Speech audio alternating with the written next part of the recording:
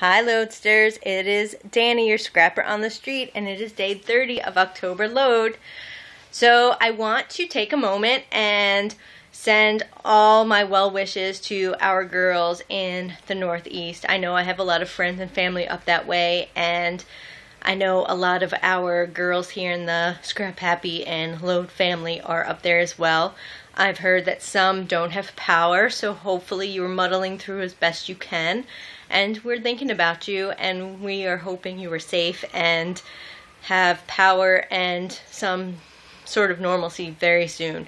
So we are thinking about you and we hope that you can join us really soon because we miss you. So here we are, day 30. Today we have to scrap lift ourselves, which is an awesome challenge, but something I very rarely do. Um, I went through my layouts and I just I couldn't pick one. It's kind of hard to pick your favorite layout. It's kind of like picking your favorite child or your favorite pet or whatever. It's just really hard to pick one that you want to recreate. And so I asked two people who are not participating in this load. Um, one of which is my friend Tammy, who you've all heard me mention, I have invaded her home twice this month with all of my load belongings and I felt like I owed her something. So I asked her to pick her favorite layout from the month of October because I know she watches the videos every day. Even though she's not a scrapbooker, I am working very hard to get her to be a scrapbooker. So wish me luck with that. Um, so she picked the Duffy layout that I did earlier, and I'll post what days those were below so that you could go back and see how close I came to the recreation. But she picked the Duffy layout, and so I tried to recreate it here.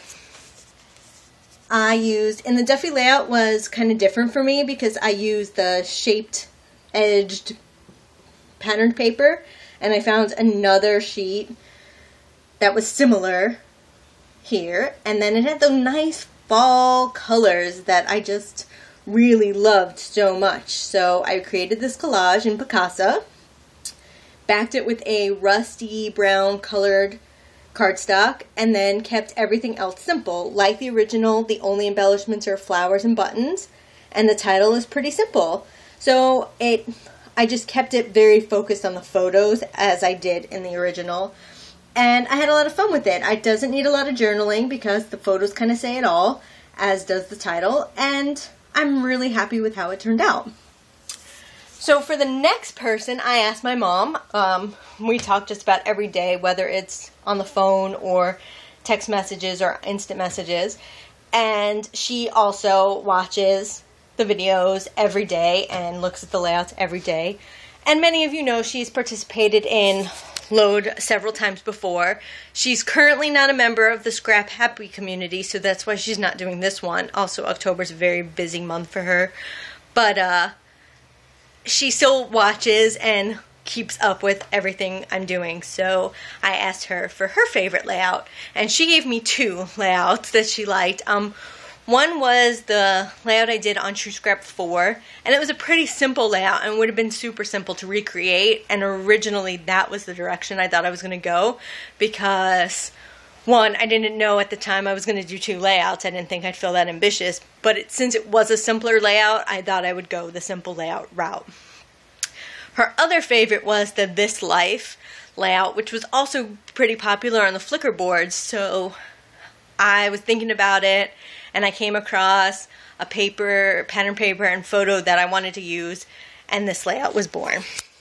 Based on, oh, helps if I switch them, based on the This Life layout, this layout with all the layering, which is what my mom really liked.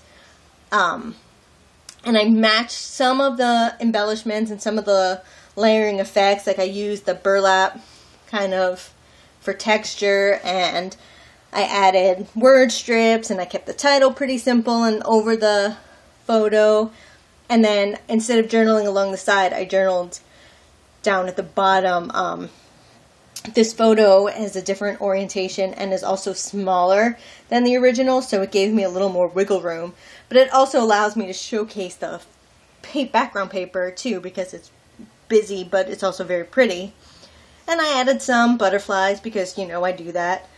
And like the original, there was a Tim Holtz tag. I just distressed it with blue to bring out some of the blues in the paper and the photo. And I added that here. And I used a different one instead of whatever the other one said. Soar I believe. This one says bliss. And this layout was born. So two layouts. One day.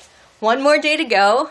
And uh, we're almost there. And just know if you created one five or all 31 layouts you rock this load. There's no wrong way to do it.